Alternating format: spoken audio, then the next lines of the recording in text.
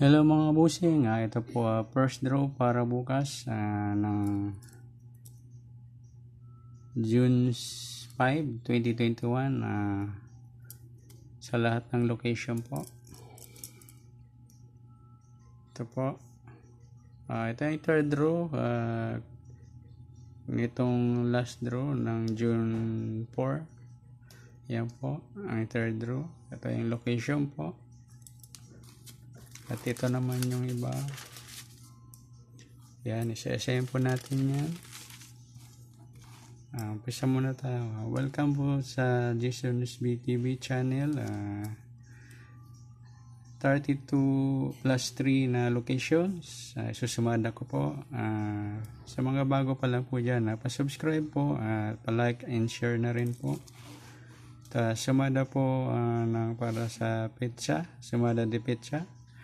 June 5, 2021. Ito po, uh, yung 34. Ito po. Suma ng 34, yan. Suma ng 3. Ito po. Uh, rumble nyo lang po lang. Ito po, uh, inayos ko na kung gusto nyo pong tayan. Yan, umpisa po tayo. Uh, sa location po. Uh, tayo bukas po ng first draw. Uh, ito po yung third draw uh, ng mga labas. Uh, location po, umpisa po tayo sa Camarines Sur. Uh, Camarines ni Norte po, wala, wala akong makita po. Uh, comment na lang po yung wala. Uh, Sorsogon, Puerto, Puerto Princesa, Romblon, Bulacan, Pampanga, Angeles City, Tarlac, Rizal po, wala rin po. Uh, comment na lang po kayo.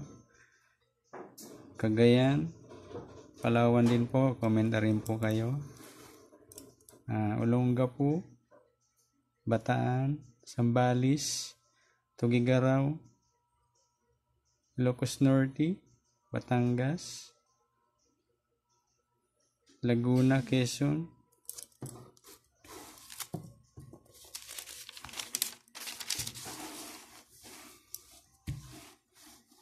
uh,